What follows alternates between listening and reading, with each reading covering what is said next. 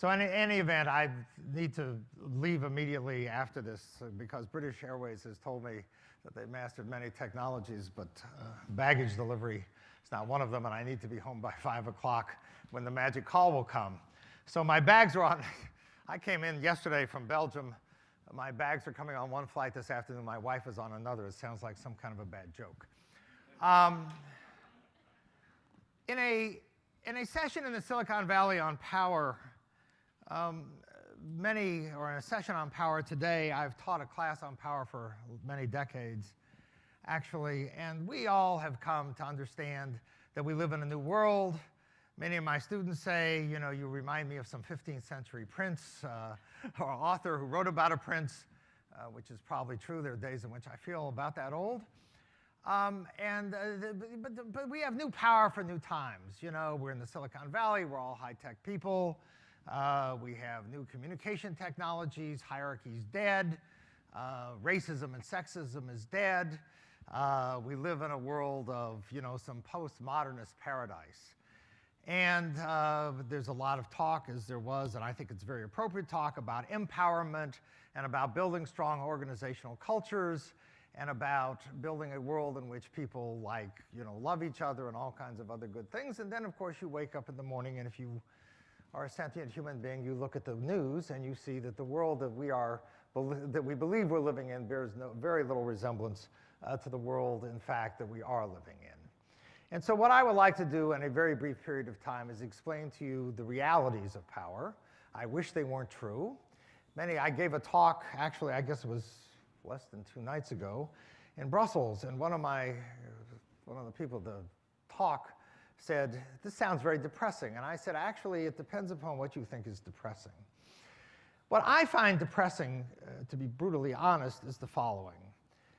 Much to, I think, people's surprise and astonishment, a significant fraction of Stanford MBAs, these are Stanford MBAs, not Cal MBAs, Stanford MBAs. Smart, wonderfully well trained people, a significant fraction the number is not precise because nobody gathers data on this, but a significant fraction, some people will tell you as high as 20%, will lose their first job within two years because they will get fired. Depending upon the data that you look at, somewhere between 25 and 70% of otherwise successful executives will suffer during the course of their career what is euphemistically by the Center of Creative Leadership called a career derailment. Many of you understand a career derailment for what, the, for what it actually is, which is getting fired.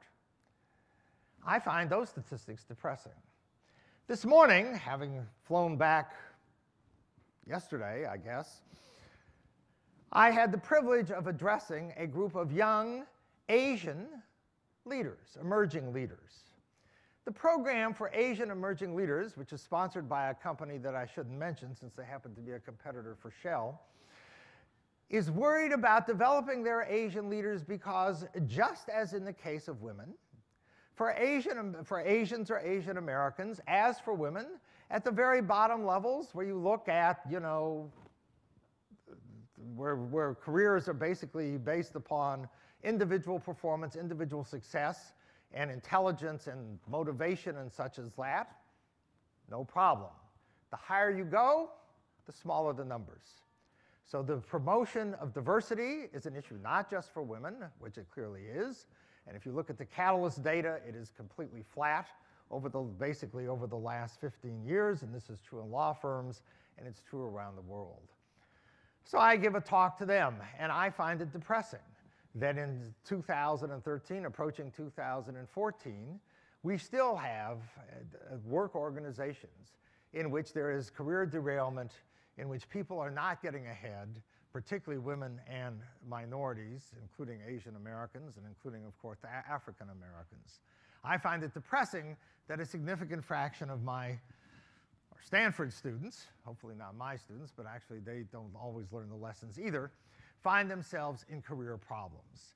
And the reason why all of these things come to be true is mostly because people don't understand the reality of power dynamics. So I'm going to explain to you the reality of power dynamics and also give you my perspective on why they are relatively constant both across cu cultures and over time and why nothing ever changes. Number one, first fact of life. Contrary to what you may have read, hierarchy still exists. To the best of my knowledge, there's only one president, and it's not Marco Rubio or Ted Cruz, at least yet. there is one president, there is one CEO of every, of every company. In companies which have tried shared governance, seldom lasts very long. One school superintendent, one mayor, one governor. Hierarchy exists. Hierarchy exists among animals. Our dear friend Jim Collins gave me a book called Chimpanzee Politics. You can picture what that's about. hierarchy exists, and by the way, hierarchy is chosen. According to research by my colleague Laura Tiedens, when you give people who are, uh, who are assigned to accomplish a task a choice of organizing arrangements, they pick hierarchy. So hierarchy's here. It's not going away. We would like to hope that it's going away. It hasn't. It isn't. It probably isn't going to. The second fact, as long as there's hierarchy, most people would prefer to be nearer the top than the bottom.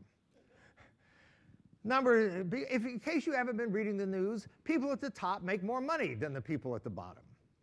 But something that you may not know about, according to research by Sir Michael Marmot, famous British epidemiologist, knighted by the Queen, written in a book called The Status Syndrome, it turns out that people at the top live longer.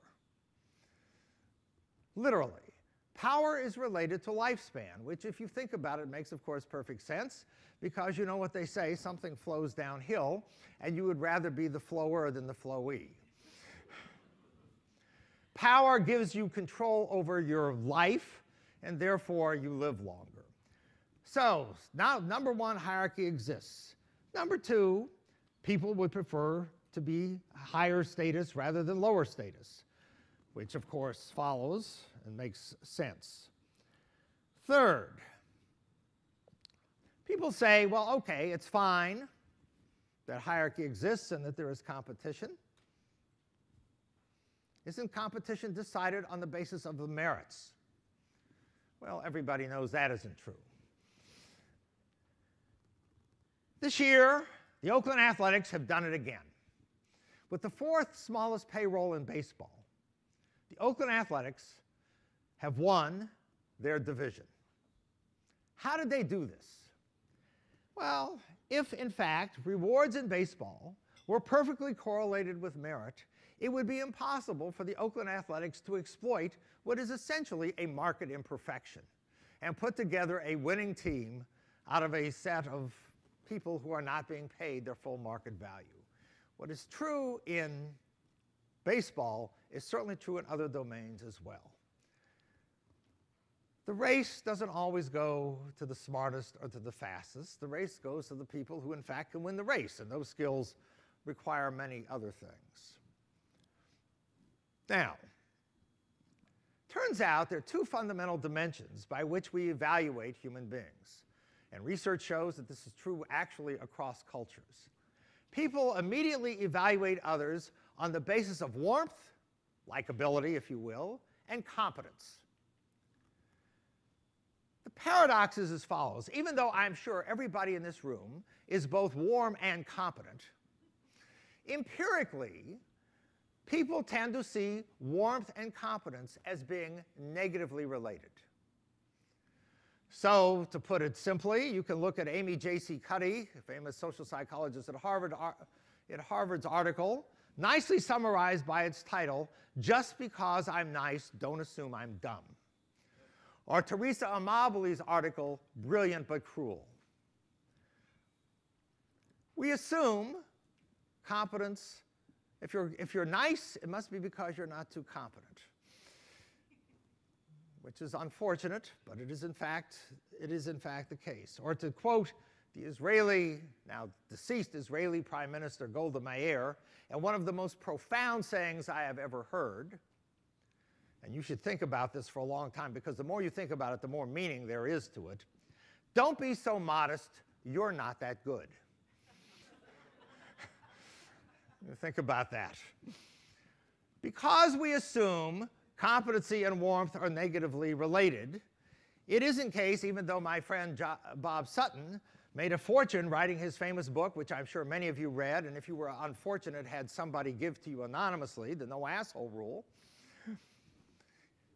He, of course, had to put in a chapter, which I insisted, called The Virtue of Assholes. and he did, of course, his famous Google search, which is to pair the word asshole with the names of a bunch of CEOs to see who came out on top, and you can guess who it was who won by four times uh, the, the number of, of number two on the list. So warmth and competence, warmth and competence implies that you need to, uh, to, to, make some trade-offs about life. Um, and sometimes you need to be competent rather than warm. We'll talk more about that in a second. Next, most fundamentally, if I said to you, I can give you one principle, one principle by which you could understand all of human behavior, and it is one principle. And that principle is called, we're going to give you that principle and many derivations from it.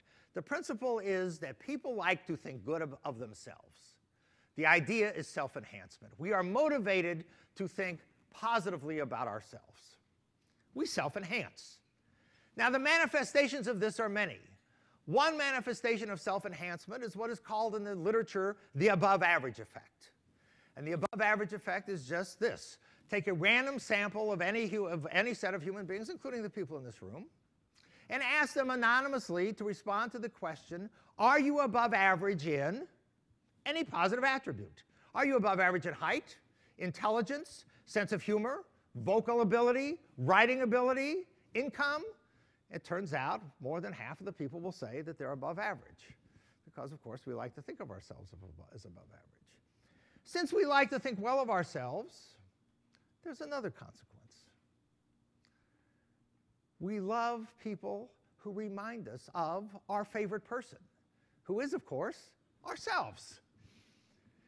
If you do a Google search on the New York Times website, which I guess is a contradiction in terms, if you go to the New York Times website and search using the exact phrase, within quotes, you remind me of me, you will see a very nicely written, summary of the research that, that demonstrates the most powerful and effective way to get people to like you and to, get, and to influence others is, of course, to imitate them. Literally. Stanford Virtual Reality Lab has actually done things where they have avatars that, eh, that imitate with a four second delay, because it turns out if you do it immediately, these people know you're imitating them. But if you imitate them with a four second delay, it turns out that the avatars that imitate with a four second delay, not three, not six, four, are more liked than the, and, and we're talking about motions, gestures, all the things that I'm doing up here now. Turns out if you do that with a four second delay, I will like you. You remind me of me. We like things that remind us of ourselves. Research shows, believe it or not, that you are more likely to marry someone with the same initials. You are more likely to choose an occupation whose name reminds you of you, and the search of dead death records have shown that people are more likely than chance to die in cities whose names are similar, or states whose names are similar to their own. But to give you an example that you will immediately relate to, since everybody in this room knows one date perfectly, which is, of course, your birthday, it turns out the easiest birthdays for you to remember are the birthdays that are eh, close of your friends and colleagues that are a close in absolute value to your own. So if you want to remember your friends' birthdays, have friends whose birthdays are close to yours. We like things that remind us of ourselves. That's part of self enhancement. The next part of self enhancement, of course, is since we like to think well of ourselves and we like to think of ourselves as successful, we love to associate with winners and distance ourselves from losers. And we know this. There's the famous Basking in Reflected Glory study. Basking in Reflected Glory. Every spring, I go to Barcelona to teach for the Spanish Business School ESADE. And every spring, I, we arrive at the same time, about the second week in May. And the second week of May, for those of you who don't follow soccer, is about when the Champions League series is winding down. And every year, once we arrive, I can tell within the first probably three hours how well Barca, Barcelona, the soccer team, Lionel Messi, their big star, is doing. And you can tell by looking on the streets to see what percentage of the people are wearing Barca colors. The Basking in Reflected Glory study did the following. You can do this yourself. Used to be, not anymore, football was played only on Saturday. Do the following study. Look at the percentage of people wearing merchandise that you can see. We're not talking thongs or underwear. We're talking visible merchandise, such as sweatshirts, t-shirts, shorts, socks, whatever. What percentage of people in a class or in a common area on a campus are wearing school insignia merchandise on a Monday following a victory versus a Monday following a defeat? And it turns out you can predict the result, even though the people wearing that merchandise have had nothing to do with this team's success. People love to bask in reflected glory. As somebody said to me, the best thing for the sale of Stanford merchandise in the history of the world was Andrew Luck. We had Andrew Luck, we went to the bowl games, Stanford merchandise soars. There are all kinds of people wearing Stanford insignia stuff. By the way, Stanford guards its logo and its color very, very, careful, very carefully. Because we love to be associated with winners, we will put up with people who don't behave perfectly. When you, you may know the name George Steinbrenner, owner of the New York Yankees, not on anybody's list of best bosses. That's for sure. When George Steinbrenner died, one of the things that it talked about in his obituary was his famous case of firing Billy Martin, the manager, five times. In order to be fired by George Steinbrenner five times, there is something that has to be true by definition, which means you have to go back four.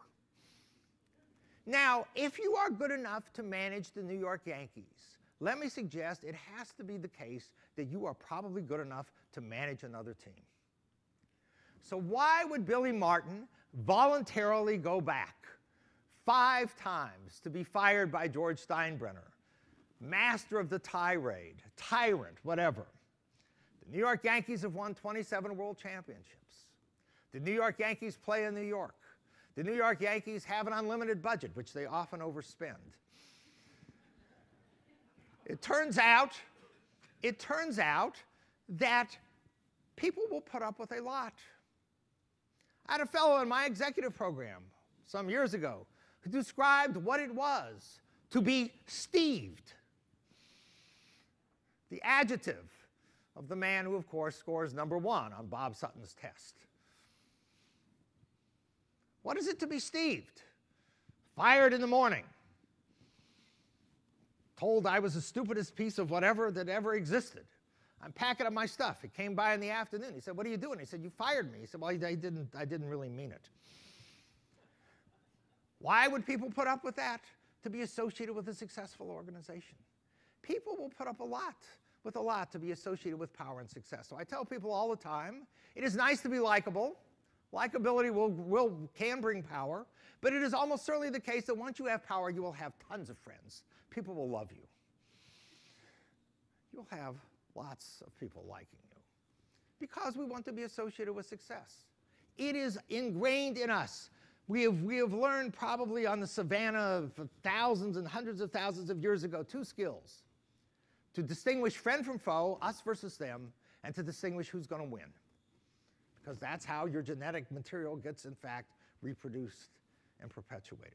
To be able to make those two very simple distinctions. So we love to bask in reflected glory, which means that once you have power, you um, will associate with it. Um, now, two other things, then we'll open this up for questions. Again, this is not to depress you to teach you kind of like the rules of life. You can actually use them quite successfully. People will forgive because we love to be associated with success. When successful people do heinous acts, they are often, believe it or not, forgiven. So people say, you know, how do people get away with stuff? It's actually quite easy. When people are, once people become rich and successful, they can get away with all kinds of things. I'll give you many examples. Here's one of my favorite.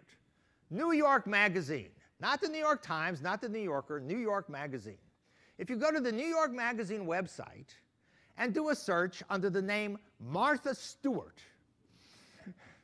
you will see a fabulous article. It's only three pages. It's fabulous on Martha Stewart. Yes, this Martha Stewart. Martha Stewart, convicted felon. Yes. Martha Stewart, corporate adulterer. Started with Kmart, thought she was exclusive with Macy's, then, then fooling around with J.C. Penney. Macy's is suing her. That Martha Stewart. Martha Stewart, who according to this article in New York Magazine, who I assume they know this, has a brand name that has never been worth more money. Believe it or not. People forgive her. In the Silicon Valley, we forgive all kinds of things. People in Silicon Valley, of course, have no sense of history. You should go back and read David Kaplan's famous book, The Silicon Boys. You can read about a company called DRI. Does anybody in this room remember DRI? you were there. Congratulations. So you know that DRI is the company that actually invented the operating system that made Microsoft famous, made Microsoft wealthy. Doc documented. Documented. We forgive all kinds of things. One of my favorite lines from the Silicon Boys is about, of course, Larry Ellison.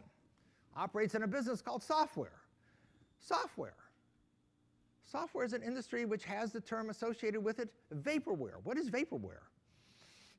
It is, of course, selling software that you don't yet have. So one of the wonderful quotes in the Silicon Boys is, is David Kaplan asks Larry, one of Larry Ellison's co-founders of Oracle, does Larry lie? And the answer is no, we don't think Larry lies. We just say he has a problem with tenses. As in, is this software available the answer yes may mean now that you've asked about it, it could be. Steve Jobs, associated with a famous phrase that we have forgotten reality distortion field. The phrase made up by Andy Hertzfeld, who worked on the Macintosh team. And the nice thing about reality distortion and some of the stuff is that actually things become true. If everybody thinks Apple has the coolest i uh, the iPhone is the coolest product, people line up in the stores, it becomes the coolest product. Everybody says, "Oh my goodness, I need to have one." Then you buy it. The self-fulfilling prophecy truly truly works. But people are forgiven. It's amazing. We don't believe people are forgiven, but people are forgiven. So that would be another thing you need to think about. Let me see if there's anything else I wanted to say. Nope. That's it. So let me end. According to this little thing clicking off here, I have 4 minutes and 17 seconds, which is very good. That'll give me 4 minutes for questions, because uh, I'll give you 17 seconds of summary. The summary is, is that the study of human behavior is, I believe, not depressing at all. I think what is depressing is that we, in the leadership literature, which is a book I thought I wasn't working on, I'm actually writing three books, but the least priority book got finished first because it motivated me the most. We live, in a, we live in a world in which we, we basically tell ourselves nice stories. We tell ourselves stories. They aren't true, but they're nice. Stories about heroes, mythology. You know, I tell people all the time, I, it's a wonderful story. I'm sitting at a closing dinner for this executive program in Barcelona, and a guy comes over to me, a little drunk. It's the evening. It's Barcelona. He was a student in my program. He says, he says, I'm disappointed in you. I said, many people are. it's okay. He said, I'm disappointed in you. I said, what's in particular disappointed you? He says, I want to be inspired. Oh, I like that. I said, he said, he said, I said, well, you know, I try to teach you about social science, the reality of human behavior, the dynamics of power. He said, I want to be inspired. I said, fine. Go to the Picasso Museum. Go listen to a great symphony. Go listen to, to great opera. We in the management education business have, I think, mistakenly believed that it is our job to inspire people as opposed to tell them the truth. If you search under the Google phrase, within quotes, you can't handle the truth, you will, of course, see my favorite movie scene Tom Cruise and Jack Nicholson from A Few Good Men. I actually believe that. A Few Good Men. I believe that not only can you handle the truth, but that we are much better off understanding the real dynamics of human behavior. I am tired of having co founders forced out of their organizations, founders forced out, people's careers ruined because they believed that the world was something other than the principles by which we know is true. So to me, it's very depressing when, you know, I have all these sad stories, which I have, by the way, plenty of, but I have now one minute and 52 seconds left, and we do need to end on time. I will take questions on anything I've discussed or anything else, and then I will go see if I can find either my wife or my suitcase. Not, by the way, in that order, but in any event, and they are on different fly, and they are on different flights. Yes, sir. Yeah, hi, uh, John Grundy. My question was about uh, bending the rules. So a lot of power in an organization tends to come from bending the rules. You quoted things of, you know, Larry bending the rules about what it means to have software ready. Can you talk a little bit more about, you know, how that manifests itself? Sure. So bending the rules. So I'll give you, you know, I'm gonna give you a quick answer because I want to take more questions. There is a fabulous article in the New Yorker magazine written by the famous business author Malcolm Gladwell. And the title of the article is How David Beats Goliath. And basically, we understand how David beats Goliath. David beats Goliath by basically breaking the rules.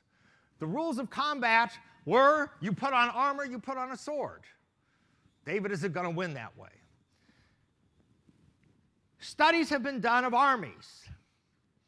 Armies, you can measure relative strength. When the, when the weaker force plays by the rules of the stronger force, the weaker force loses most of the time. When the weaker force, think Lawrence of Arabia, think Al Qaeda, think asymmetric warfare in general, when the, when the weaker force makes up its own rules, does something, doesn't play by the rules, they win actually two thirds of the time. So, Malcolm Gladwell's point, which I think is exactly right, is he said the rules tend to be made by the people who are favored by the rules.